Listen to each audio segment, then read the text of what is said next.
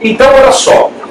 É, e aí a gente volta nesse segundo momento para trabalhar um pouquinho mais essas definições. A partir dessa noção mínima de linguagem multimodal, tem uma coisa muito interessante que eu estava esquecendo de dizer. É, de toda forma, eu vou retomá-lo agora aqui, ó. Quer dizer, eu não estava esquecendo, é que está aqui mesmo, né? Olha só. Ah, quadrinhos, muitas linguagens, algumas definições. Um exemplo que se aproxima da ideia de multimodalidade ao qual nós estamos discutindo até o presente momento. É, eu vou ler por aqui, tá? Vai ficar mais fácil para mim.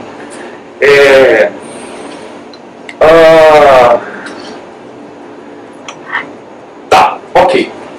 Uma primeira definição é justamente desse autor que eu mencionei aqui, ó, do Barbieri, tá? Diria que esse é um livro nível médio, tá? Eu acho que ele pode ser lido tanto porque tem quem está iniciando, ou quem quer iniciar na pesquisa de quadrinhos, é, com um certo ajustamento de leitura feito por orientações, leva numa boa, tá? E por quem já está no nível mais adiantado. O texto do professor Valdomiro é bem introdutório, acessível a todos, até mesmo aqueles que não estão inseridos nos códigos de pesquisa científica, tá? Esse outro aqui que eu vou falar daqui a pouquinho, o do Grouchy, que é um semiótico belga, aí já é mais pauleirinha, digamos assim. Já é um texto mais teórico, né? Aí eu não recomendo que vocês comecem a pesquisar quadrinhos lendo Grouchy, por exemplo. Não façam isso com vocês. Tenham amor próprio. Né? Mas comecem por aqui pelo Valdomiro. É, porque sim, o Valdomiro domina muito bem essa arte de nos provocar a beleza dos quadrinhos. Isso não é pouca coisa, tá? Eu digo que é muita coisa nesse sentido. Muito bem, olha só. O Barbieri defende, aliás, Barbieri, todos os que estão mencionados aqui, os três, defendem que quadrinhos são eminentemente linguagens. Não só nos termos que eu já afirmei aqui, mas mais ainda, o Barbieri diz uma coisa muito legal. Barbieri vai dizer o seguinte: linguagens não são instrumentos que nós utilizamos para manejar a nossa realidade, para entender a nossa realidade. Ah, linguagens são a nossa própria condição de ser. Ele usa uma expressão quase que poética. Linguagem não são instrumentos que nós utilizamos, mas são o meio ambiente que nós formamos e habitamos. Nós somos seres constitutivos de linguagem, nesse sentido. Ou seja, nós estamos continuamente produzindo experiências de significação da nossa realidade, nesse sentido.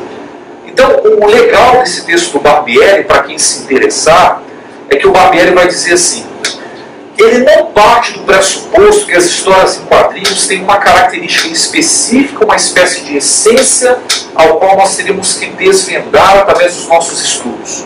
Não ah, é, as linguagens dos quadrinhos, por ser multimodal, é, principalmente combinando o texto escrito com linguagem visual, embora ele não use o termo multimodal, elas são uma espécie de ecossistema. Ele usa essa metáfora muito bonita. Os quadrinhos são um ecossistema de sentidos. Enquanto ecossistemas dialogam com outros ecossistemas, ou seja, com outras linguagens.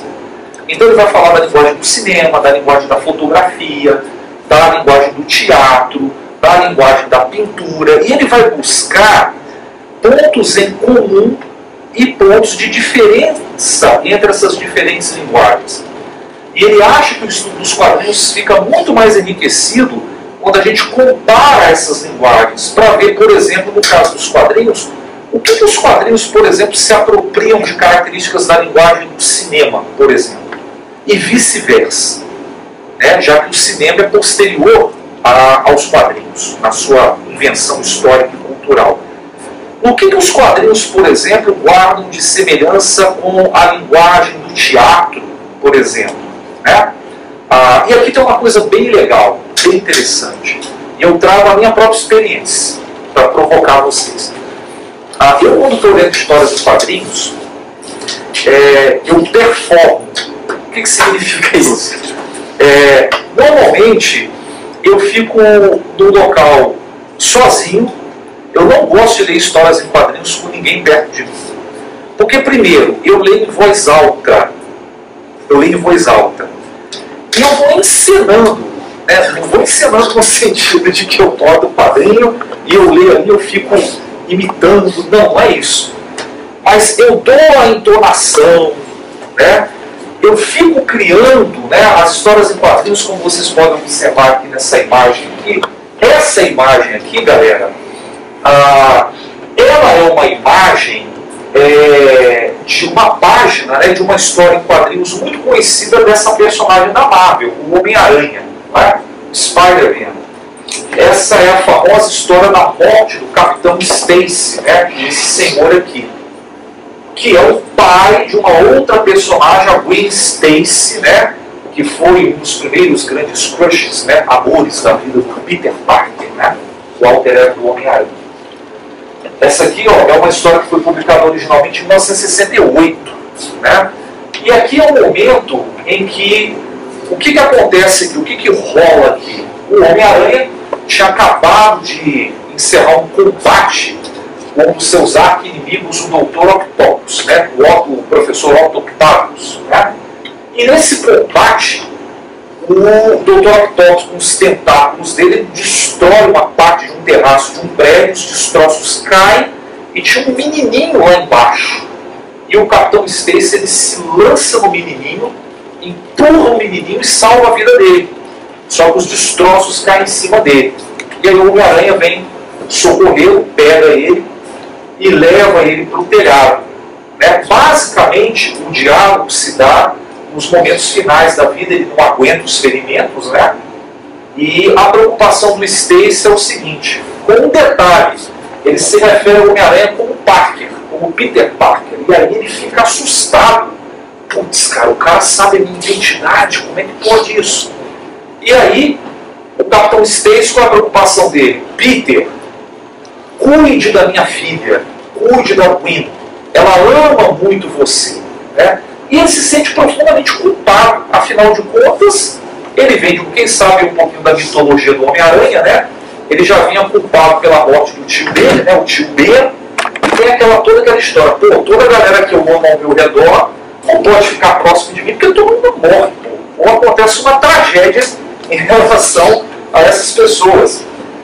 E, e, e, o, e o Stannis era muito amigo do Peter Parker, né? Ele acaba morrendo. Vocês sabem também, esse aqui é o número 60, lá para o número 120 ela vai pedrada, salvo melhor memória aí, vai acontecer uma outra história icônica que é a morte da própria Gwen Stacy, né? a filha do Capitão Stacy. Uh, e dessa história até a morte dela, o Peter Parker ele tem que e dá um grande problema, porque a Gwen Stacy ela acaba meio que culpando o Homem-Aranha e não o Dr. Octopus pela morte do pai dela. Mas enfim, o que, que eu quero chamar a atenção para vocês aqui? O seguinte, indo nessa questão da linguagem multimodal, da definição de, de, de, de trazida pelo Barbieri, tá? E eu também já quero puxar um gancho com a definição do Thierry Grouchy, eu acho uma coisa muito interessante. Voltando à minha própria experiência. Observe aqui que nessa página toda, né, a, gente chama, a pode chamar também de requadro, você tem vários quadros, né? Essa primeira fila aqui, olhando na horizontal, você tem dois quadros, aqui você tem três, aqui você tem dois, compondo esse grande requadro. Observa que entre os quadros, né, o espaço entre um outro, esses espaços em branco aqui, a gente chama tecnicamente na teoria dos quadrinhos de sarjeta, ou calha, ou lacuna, enfim, tá? Olha só que interessante. Quando você está lendo uma história de quadrinhos, você está tão permeado, ah, efetivado por um campo ficcional de sensações, de emoções, acompanhando a narrativa das personagens, que esses espaços vazios, eles não são vazios na realidade. Eles são preenchidos. Mas eles são preenchidos pelo quê? O que, que vocês acham? Uma coisa que inclusive diferencia a linguagem dos quadrinhos do cinema, né? O cinema é imagem em movimento. É claro que aqui o movimento ele é feito pelos recursos técnicos das linhas cinéticas, né? É que eu acho que não vai dar para vocês verem aqui, Mas nesse quadro aqui, por exemplo, ó, aqui o Homem-Aranha abraça o Stacy, ele acabou de morrer. E aqui tem, tem pequenos tracinhos aqui ao lado deles, indicando um leve movimento, né, chamado linhas cinéticas, linhas que traduzem o movimento, porque são imagens de desenho, portanto são estáticas, diferentemente do cinema. Mas voltando à minha pergunta, a gente pode preencher essas lacunas aqui? Na visualidade direta, elas estão em branco. Mas a gente pode preencher? Será que quando a gente está lendo a história, elas ficam em branco nesse caso? O que vocês acham? Não, Isso para mim é um elemento muito importante das histórias em quadrinhos. A gente preenche ela com os interlúdios entre um quadro e outro. Por exemplo, no primeiro quadro, o Homem-Aranha acabou de subir no prédio com o Capitão Stacy levantado. No segundo, ele está deixando no chão. Ah, seria, o que a gente preencheria seria o, a parte que ele se agacha e coloca ele no chão. O acontecimento entre um quadro e outro. Espera. Olha só que interessante. O seu preenchimento você o fa- o faz com elementos visuais diretamente captados. Você está vendo, você está descrevendo o que você não está vendo, o que você, o que você está vendo, perdão. Mas a minha pergunta é, vou especificá-la mais. Será que a gente consegue preencher essas calhas com, entre aspas, tá gente, com o não visto? Ela não entendeu o que eu estou dizendo? Mentalmente, sim. Opa, mentalmente sim. Peraí, só um instantinho que ela tinha pedido a palavra aqui primeiro, eu volto para vocês, tá? Que é o tempo de espera, né? É a Tempo de espera. troca, é a troca de, de, de movimento, é a troca de. aquele momento de espera que a gente tem de, de movimento, de fala. Né? A gente não vai atropelando as coisas. Tá. Então eu Beleza. acho que essas lacunas são o tempo de espera de uma fala para outra. Ok. Uma pausa. Um pauzinho. Tá. Eu acho que. Eu concordo com a Vicky em parte, porque- mas eu acho que não, não é como. qual é teu nome? Meu nome é Lídia, mas todo mundo Ah, Lídia, como. Lívia. Eu entendi Lívia. Eu ia brincar, ah, é o nome da minha irmã. Mas mas é Lívia, minha irmã, é. É, eu concordo em parte, só que eu acho que talvez não seja só uma pausa, mas uma pausa de significação, porque as, o, as, como você citou o cinema, né? Nesse sistema de quadros não tem a continuidade. Então, na minha concepção, é uma ferramenta muito interessante de criação de sentimentalidade, porque através dessas lacunas você pode, por exemplo, em, é, em uma HQ de suspense ou de terror, de, de terror criar mais uma lacuna, não sei se pode, né? Mas eu penso que talvez possa criar uma lacuna mais longa para criar esse sentimento. E nessa, nesse, nessa página específica, eu acho que é interessante porque, pelo menos a partir da minha concepção como leitora, é, é, uma, é um potencializador de emoções. Então, conforme você vai passando de quadro em quadro, pra mim, né? Conforme eu vou passando de quadro em quadro, vem vindo à minha mente toda a contextualização do sentimento do, per- dos personagens Certo. sabe? Então eu acho que é uma brecha ou uma pausa de conexão entre leitor e quadrinho, porque quando você vê no cinema, é, não tem, é, está tudo sendo visto, então Sim, você não precisa dar o seu sentimento, o sentimento está sendo dado a você a partir de, um, de uma fluidez é, de imagens. Aqui você vai, durante esse período de pausa, em que a coisa não, só, não corre só, você tem tempo para entregar os seus próprios, próprios sentimentos, para fazer a sua interpretação e trazer ela emocionalmente para você. Não sei se pra Sim, entendo perfeitamente, perfeitamente, ótimo.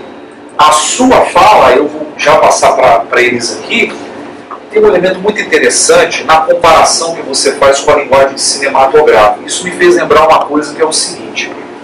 Em meados do século XX, logo no contexto pós-guerra, a gente vai ter autores que foram filósofos alemães, é, Theodor Adorno e Max Horkheimer, ah, que nos Estados Unidos eles desenvolveram o conceito de indústria cultural. Esse foi o Takes do Nopec. Se você gostou desse vídeo, deixe o seu like e aproveite para assistir esse programa completo na íntegra no link abaixo na descrição do vídeo. O Nupec é o canal que faz o melhor crossover entre o universo dos quadrinhos e a vida acadêmica. E aproveite também para se inscrever no nosso canal e ativar o sininho de notificações para receber as nossas novidades todas em primeira mão.